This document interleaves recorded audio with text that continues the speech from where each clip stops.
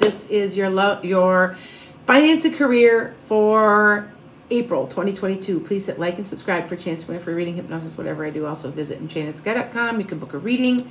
Also visit Metaphysical Meanderings. That's my podcast on Saturday mornings, 9.30 a.m. Central.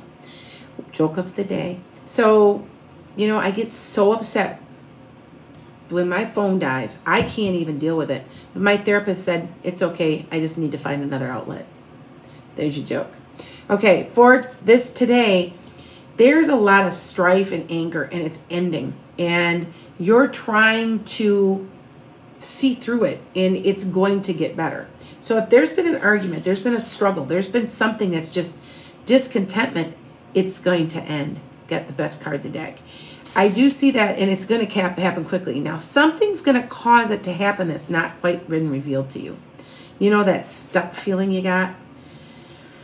You know, you're trying to heal and work through this, but you're really having a hard time cutting yourself loose. It just it seems like it just weighs on you. And this month, you're going to be breaking free. Yeah. Use your intuition. It says that you're not. You're not using enough of your intuition. So start using your more of that. And you know this is the end of disagreements or disappointments it's it's the start of something now what i say is in this month from march to may it's jupiter's in pisces it's very very very very positive so take a look at your chart go on astrologycafe.com and look it up and you'll find put your birth date birth time birth location and you will find that where what house you're supposed to be working on. Now this is a finance and career, so this has something to do with that. But I am telling you that it's very positive that you're breaking yourself free. I almost want to say you're breaking free from old thought patterns also. Okay. So inability when it's upside down, inability to cut yourself loose. That's kind of what it means. They don't always mean the opposite, by the way. Um, but something's hidden that's going to be revealed throughout this month. I find that very interesting because there's some this is in your surroundings there's some reason you're tending your garden watching things grow okay so it could be a job it could be money maybe it's investments maybe you're going to be doing day trading it's something where you're kind of figuring it out now this the one thing about uh, Aquarius that I know is that they're like carefree. They're like, oh yeah, okay, well yeah, all right, let's just go with it. And sometimes you have to like not have that attitude about certain things and it's kind of telling you that maybe you better try to settle these things down so that you can go forward. Like i said there's an ending of something. It's a it's possible disagreements. I just know that emotionally and mentally is very healthy this month. And remember that things have been brought to you for your for you.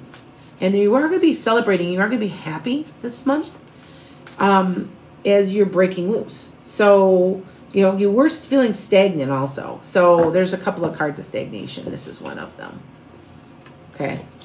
Time of healing, trying to get in.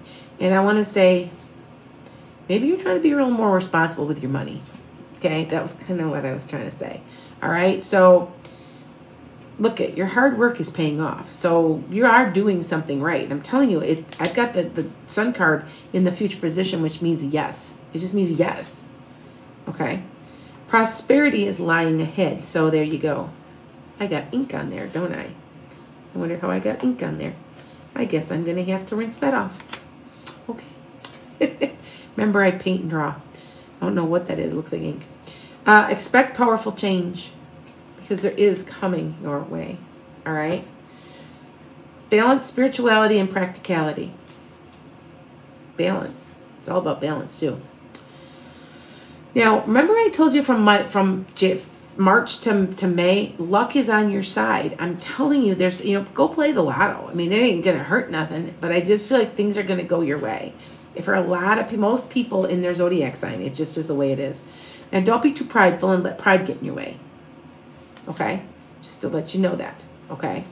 Because sometimes, you know, we don't accept the things that come to us out of pride. Oh, I'm I'm I don't need nobody's help. So just remember that, okay? Just let it go. There you be. You make it a great month.